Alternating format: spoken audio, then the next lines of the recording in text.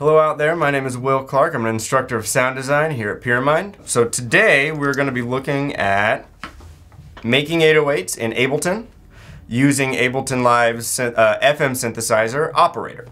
So here's a, a blank session in Ableton Live.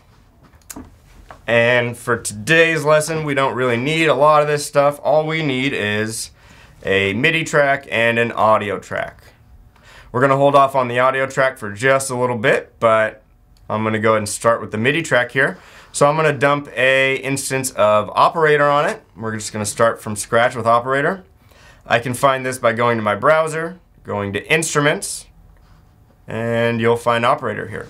Operator is included in all versions of Ableton Live Suite. So if you don't have Ableton Live Suite, you would need to upgrade or you can purchase operator separately. So I'm going to go ahead and dump that on this MIDI track here and let's go ahead and get started with this. So the first step that I want to do here is get myself a clip. Uh, when I'm sound designing, you know, not necessarily concerned about harmonies and melodies, I like to start off with just a, a basic clip to get myself moving on this. So I can create a blank clip in Operator by simply double clicking on any of the empty clip slots and that'll give me an empty MIDI clip. I'm going to go ahead and uh, create one MIDI note in here. One MIDI note's all we need, and we want to put this MIDI note at C3. So there it is. Now if I extend this out a bit,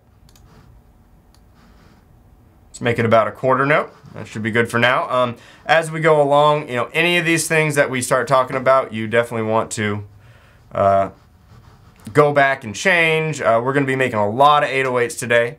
So any of the things that we talk about, you're going to want to go back and, and fiddle with. So let's uh, start with a quarter note there. I'll hit play on this. Sounding good so far. So let's jump into operator here. So this is operator. For those of you guys not familiar with it, um, operator is capable of all sorts of synthesis types. Uh, mainly FM synthesis, but this type of synthesis that we're going to be looking at today is additive synthesis. So here in Operator we have four oscillators. So an oscillator in a synthesizer is what makes the noise. The way that Operator is set up uh, by default is in an FM uh, configuration. Meaning, in FM synthesis, we use oscillators to affect the sound of other oscillators. So the first thing that we want to do here in Operator is set it up so that's not the case. We're not going to be using FM synthesis today. We're concerned mostly about additive synthesis. So the first thing I want to do is jump into the main tab here of Operator.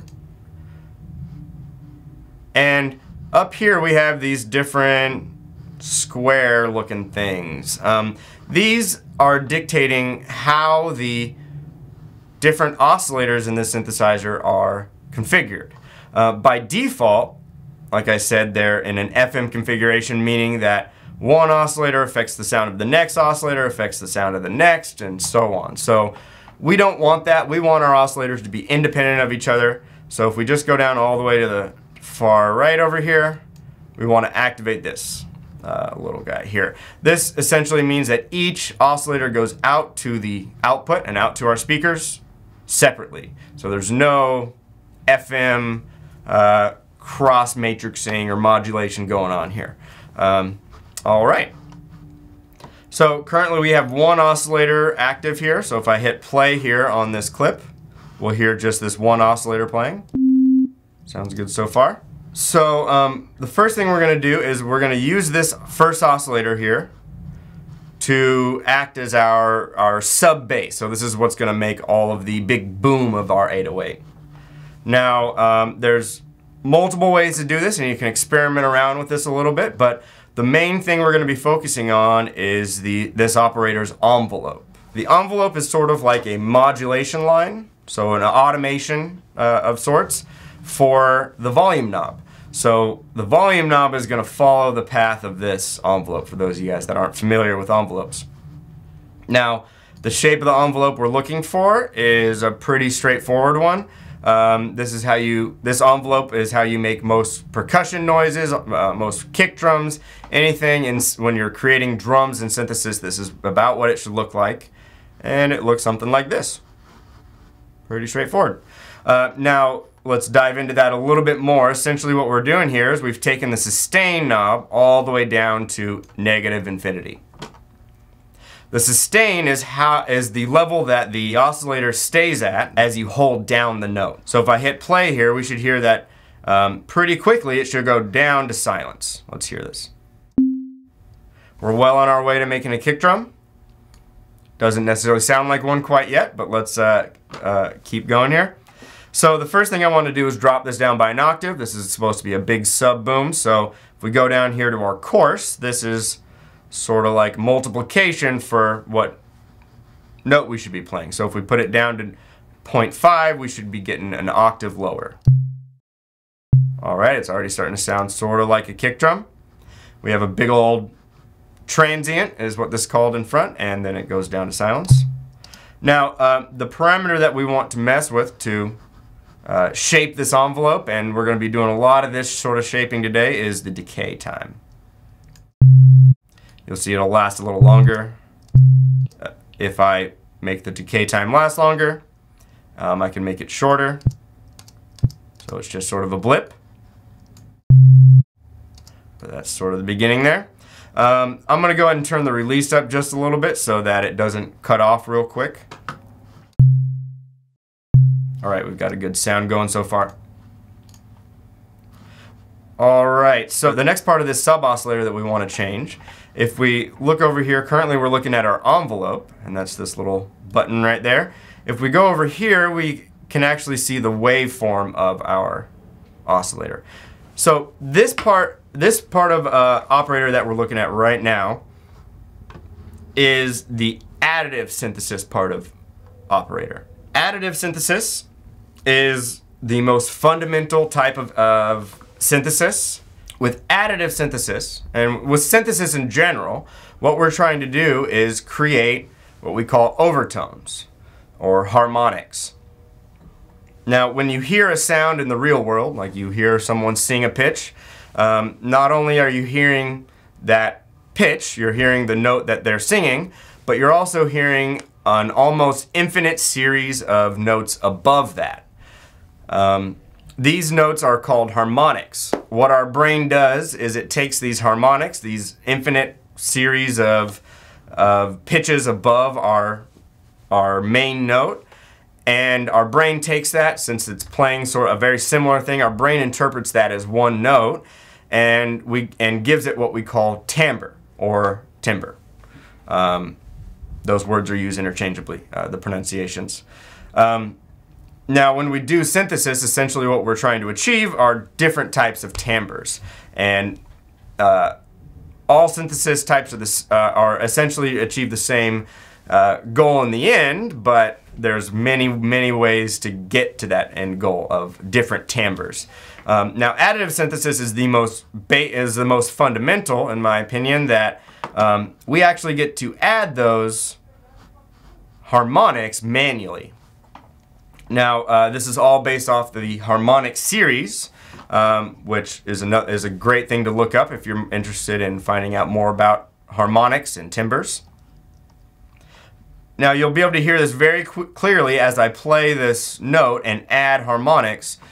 Your brain is going to be able to really pick out that, I'm, uh, that these harmonics are individual notes. However, when I play it all together, in an, uh, not in that context, you'll hear that it's all sort of one sound going together. So I'll start adding some harmonics here.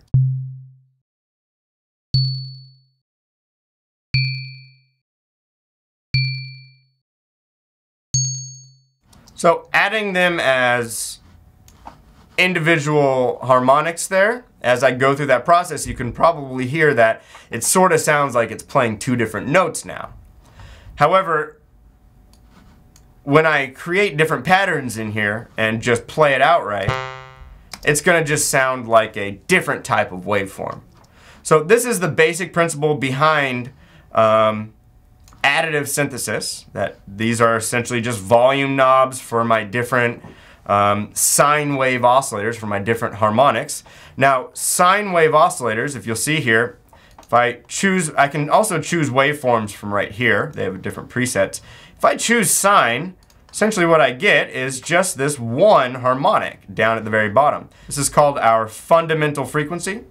And this is the note that our brain interprets it as. A pure sine wave has no harmonics. It is simply just the fundamental frequency. Now for sub basses, this is what we want. We want it to be a real simple sound down there in the low end. That way we don't get a lot of mud. Um, so we want to use just this simple sine wave oscillator. Um, my variation on this is I like to add some harmonics real close to it, but very subtly. And this might give us a little bit of a more boomy sound. Essentially, what I'm doing here is adding another oscillator on here, just an octave up. That's what this first harmonic is. It's just one octave up. So if I play this now, it's going to be a little bit more robust as opposed to just the sine wave by itself. Now it's a little bit boomier. Sounding good already? We're to come back to shaping this envelope later, but let's go ahead and move on to our second oscillator here. Now this second oscillator we're to use for sort of the, the pop of the 808. This is sort of the high end, the higher end of it, the what we call the transient. This is to create our, uh, a real hard transient for us. So again, we're going to create that same shape in our envelope by taking the sustain down to negative infinity. And go ahead and turn the volume, go ahead and turn the volume up of your second oscillator. Now you hear we have a real hard beginning there. If I go back to my first oscillator, I can maybe move this decay out and we can hear these two oscillators acting sort of independently here a higher one and a lower one. All right, it sounds pretty good so far. Um, I can maybe even change the octave of the second oscillator. Let's let's change some stuff here. If I change the octave, that might give me a different effect. Sort of a more plucky sort of sound. And also if I change some of the uh, the waveform attributes. I also like to do this in the additive fashion. Um, and this can be real fun. You can really get experimental with this part of it and draw whatever sort of thing you want in here. You can even, you know, write your name or draw a funny picture or something. This, the waveform of this doesn't matter so much since it's so short, but we can get some nice timbres out of this. Um, I'm going to go back to the envelope here, change the decay time, and let's see if we get some different results. So you can hear it being really clicky there. Let's stick to a, just a normal sine wave for now. Maybe add one or two harmonics in there. And again, we'll come back to all these parameters later. We're always going to be sort of changing this stuff around uh, as just sort of a basic principle of sound design. All right, the next important part of this, so we have our sub oscillator going. I can turn that up a bit. We have our transient oscillator. This is the one making the sort the pop to our kick drum. And the next thing we're going to want to do is add in some pitch envelope modulation. So in this uh, in this tab over here, if I just click on it, it'll show me my controls for my pitch envelope. I want to go ahead and turn this on. And I'm going to turn the amount up. Now, again, this amount, you can go back and change this around and you'll get all sorts of different results from this. Um, but this is going to be very instrumental in creating this uh, kick drum sound that we're looking for. We can already hear just by turning up that amount that we're getting some some uh, more transient. We're getting closer to this kick drum sound that we're looking for. All right. Um, now we're going to go and replicate this envelope shape that we've been creating in these other oscillators here. It looks a little bit different here because this envelope is capable of going into the negative range. However, we want to make sure that we keep this sustain at zero steps. So that is its default value, but let's make sure that we keep it at zero steps. We don't want to change that. What we do want to change, however, is possibly the attack amount. So I'll turn that up. And we're want to change this decay parameter. Again, this kick drum creation, sound design sort of thing is all based on this envelope shape and modu and changing this decay time up. So if I change that, you can hear we're getting a real big punch now. Um, I can make it even longer, and now we're getting maybe sirens. Every good kick drum starts off with a siren. Pretty awesome sound in there. but I'm gonna move it back down a little shorter. That way our kick drum is getting that nice big old punch. All right, we're getting pretty close to an 808 here. Um, the next thing I wanna do here is I'm gonna add something to this operator here. If I go into my MIDI effects, one of the MIDI effects they give you in Ableton Live is the pitch effect. Now this MIDI effects affect the incoming MIDI notes um, so that something that you play on your keyboard or in a clip is going to be altered in some way before it actually reaches the synthesizer. Um, the pitch one is very simple. It just simply transposes these MIDI notes.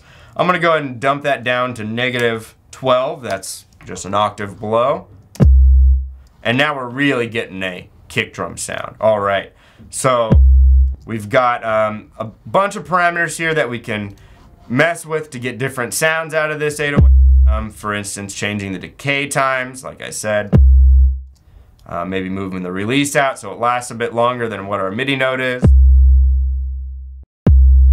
All right, we're getting a pretty solid 808 sound. If you're a music producer, subscribe to our channel and stay up to date on the latest Pyramind tutorial videos, track breakdowns, elite sessions, and more. Visit us at pyramind.com.